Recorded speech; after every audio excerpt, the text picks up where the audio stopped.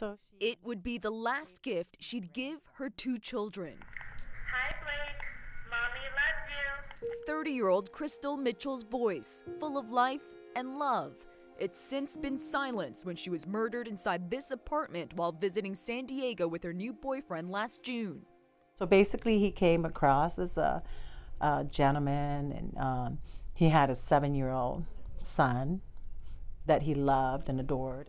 Josephine Wenzel says her daughter met Raymond McLeod in Arizona. Mitchell moved there from Oregon a few years ago to work as a project manager at an apartment complex McLeod was applying to live in. She wasn't in love with him. I mean, it's I don't think there was enough time to be in love, but she was checking it out. She decided to go to San Diego with him for the weekend. There was an altercation at the club. He got into it with somebody and punched some guy or something. What happened was, I know my daughter. She probably said, you know what, that's ridiculous. I'm out of here. That's one theory behind the murder. San Diego police say the boyfriend immediately fled.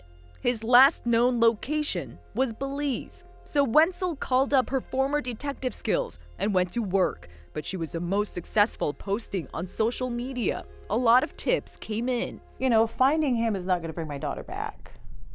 But finding him is going to stop him from another creating another grieving family.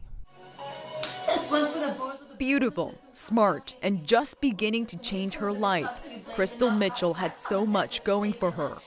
She wanted the best. And uh, she was finally pursuing her dream, actually. Now, her mother is giving purpose to the family's loss and grief. And for my granddaughter, Hi, my wee Cindy. Mommy loves you.